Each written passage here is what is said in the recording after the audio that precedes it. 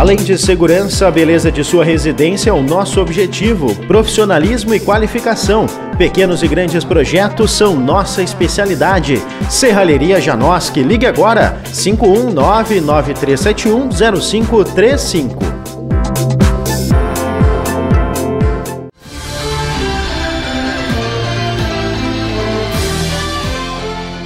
tem que querer se tratar. E a recuperação, ela parte, uh, a gente busca em cima de um, de um tripé que é, é a fraternidade, que é a, o acolhido, ele se sente aqui uh, acolhido mesmo, que é uma casa, é uma família, né? Nós todos uh, temos uma, um vínculo bem mais de, de, de irmandade.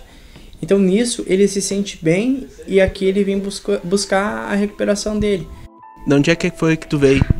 Eh, Montevideo, Uruguay. Montevideo, Uruguay. Conocí a través de, de un amigo lá, amigo de consumo, de Rua. Eu fi, ele fez o tratamento aqui. Eu depois tuve um tempo sem ver a ele. E ele um dia eu me procurou na rua a mim. E ele falou para mim de, desta comunidade aqui em Brasil. Eu estava em situação de rua. E ali ele chegou a minha família, falou com minha família, minha família estuvo, estuvo disposta a ajudar. E ali depois eu, eu vim para aqui. A tua família ainda tá lá no Uruguai ou, ou tá aqui já no Brasil? A família está no Uruguai. Está lá no Uruguai, pai, mãe, irmã, irmã e sobrinho. Estão todos lá. Ah, com que idade mais ou menos tu começou a, a usar esse tipo de drogas? É?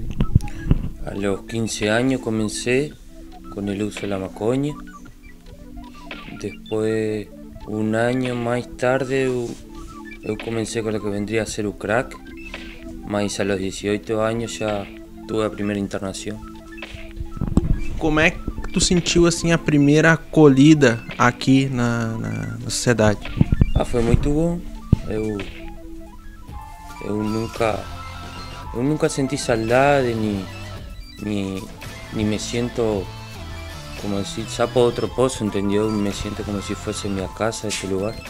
É um lugar muito bom.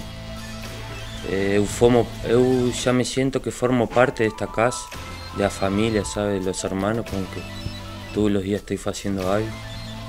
E a verdade que sinceramente não, não tenho que reclamar nem tenho que falar nada realmente deste lugar nem de Brasil. Ainda penso ficar aqui, não, não penso voltar para o Uruguai, penso fazer minha vida aqui. Ah, aqui com as atividades, uh, isso tem te motivado também a dar esses passos uh, mais adiante? Me motiva todos os dias o tema das atividades, mas mais que nada me ajuda a ocupar a mente, mas procuro fazer cada atividade, cada setor que eu tenho que fazer, fazer como se fosse a minha casa. Se eu tenho que limpar o banheiro, limpar como se fosse o banheiro da minha casa. Se eu tenho que cocinar, cocinar como se fosse a minha casa. Porque hoje e durante muito tempo este vai ser minha casa, entendeu? Então hoje procuro realmente fazer tudo como se fosse a minha casa. Cuidar tudo como se fosse a minha casa. Momento que a tua família te vê novamente recuperado. Tu, tu, tu vê esse momento? Tu sonha com esse momento? Eu sueño, sí. No, eh, no, es un sueño, mas es una meta. Es una de las metas que yo tengo que ahora después de Natal venga para Año Nuevo mi mai para aquí, sabe pasar conmigo.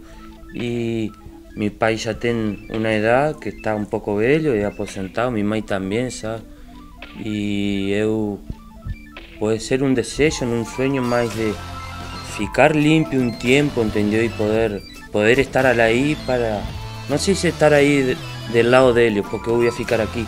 Mas si un día ellos telefonan y precisan algo, poder estar ahí, estar limpio, ser, ser un filho, ¿entendió? Un filho bom y poder ayudar a ellos, porque muchas veces ellos precisaron, de repente un filho, yo estaba usando droga, estaba en la rua, estaba en cualquier cosa, ¿entendió?